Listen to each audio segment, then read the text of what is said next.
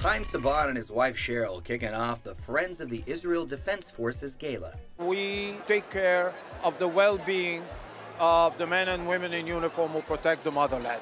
Hollywood out in full force to support the cause. Gerard Butler and David Foster on hand.